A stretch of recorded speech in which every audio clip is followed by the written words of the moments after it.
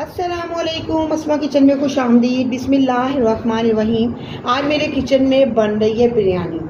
ठीक है, बिरयानी का मसाला रेडी करके आप इसको फ्रिज में रख सकते हैं। आपके घर मेहमान अचानक से आ जाएँ तो आप इसको मसाले को निकालें और बिरयानी फटाफट से रेडी कर लें दस मिनट में। वो कैसे? ये मसाला जब रेडी करके आप फ्रीज़र में रख लेंगे तो आपको सहूलत हो जाएगी। किसी भी मेहमान ने आना है, आपके पास दो दिन बाद या कल संडे छुट्टी है, उस पर आना है तो आप ये मसाला पहले से रेडी करके फ्रीज़र में रख सकते हैं। कैसे रखते हैं? वन के के करीब ड्रम स्टिक ले ली है मैंने। वन के के करीब ड्रम स्टिक के ऊपर हमने लगा देना है जरदा रंग।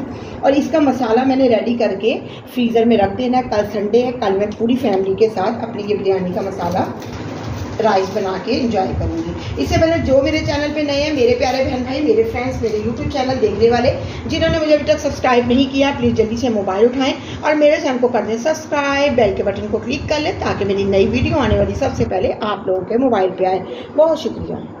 पर मैंने वन टीस्पून जर्दा रंग लगाया है। जर्दा रंग हर घर में मौजूद होता है और बिरयानी मसाले में ये बहुत ही अच्छा काम करता है।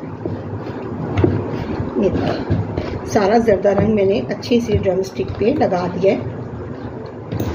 अब इसके अंदर जाएगा, जो जो चीज़ें जाएँगी, तीन अदर टमाटर है मेरे पास। टमाटर मैंने इस तरीके से कटिंग करके इसमें डाल देने हैं और इसके अंदर हमने डाल देना है लहसुन का पेस्ट अदरक का पेस्ट और चार अदद प्याज। इसको मैंने चॉप कर लिया और ये चॉप किया हुआ प्याज, लहसुन, अदरक का पेस्ट हम इसके अंदर बिरयानी में डाल देंगे।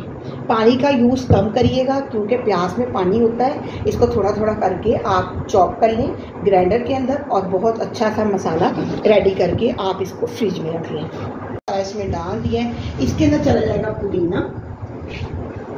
बिस्मिल्लाह। पुदीने की एक बंच लिया था मैंने, वो सारा मैंने इसमें डाल दिया। दही का बहुत अहम काम है इसके अंदर। दही हम डालेंगे इसके अंदर तकरीबन हाफ़ कप अगर दही हमारा हाफ़ कप के करीब दही ले लेंगे अच्छा वाला दही हमने लेना है। कोशिश करिए घर का जमा हुआ ले लिए। अगर नहीं तो आप कोई सा भी दही यूज़ कर सकते हो अगर नहीं मिलता तो ये देखें। ये देखें, प्याज का पानी भी आ गया, साइड पे दही जो हमने डाला था वो भी और टमाटर भी और साथ हमारे पुदीना भी। ये मसाले हमने इसमें डाल दिए होम मेड बिरयानी मसाला मैंने आपको बनाना सिखाया है। हम टू टी स्पून भर के बिरयानी मसाले का डाल देंगे। हमने इसमें डाल दिया हुआ है। इसको हमने अब अच्छे से मैरिनेट कर लेना है। और इसको फ्रीज़र में रख देंगे। कल हमें ज़रूरत है बिरयानी बनाना है हमने घर के अंदर। तो ये निकालूँगी चावल को राइस को बॉईल करेंगे।